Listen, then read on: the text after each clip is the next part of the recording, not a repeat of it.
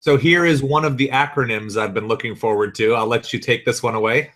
Hey, okay. So this is uh, SPF, which stands for Sender Policy Framework. This is the one most important thing, bar none, that you have to do. What this, what, what SPF does is it tells the world who you trust to send emails on your behalf. And most people they start using Infusionsoft, they don't set up an SPF record, which means that they haven't told the world that they trust Infusionsoft to send their emails. And guess what? They go into the spam.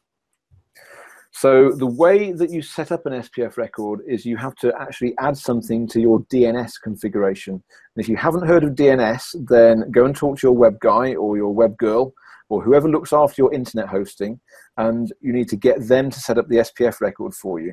Um, and if you go to um, wedeliver.email slash SPF, I think it's that. I'll just double check because uh, let me put that in the in the um, chat box. Sure. Then I've got uh, a little guide that gives you a little bit more information about that.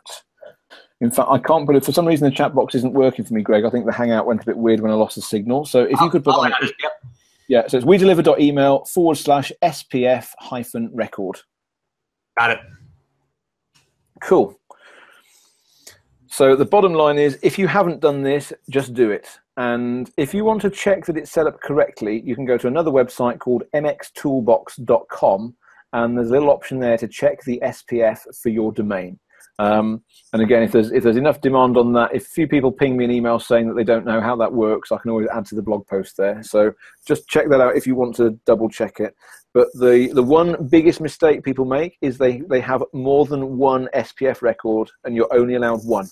So if you want to tell the world that you trust Gmail and Infusionsoft and something else, then you have one record that contains all of those instructions in one go. You do not have several SPF records because that will break.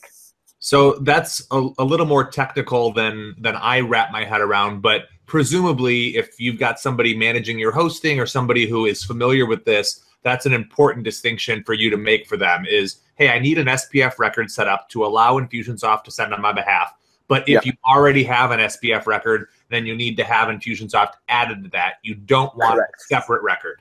Yeah. And here's the really scary thing 99% of internet web people do not know how this works. You know, and it does it frightens the pants off me because in a lot of cases, you know, we offer a done for you setup service we deliver if someone needs to use it. And one of the things that we have to do as part of that is we have to set up their SPF.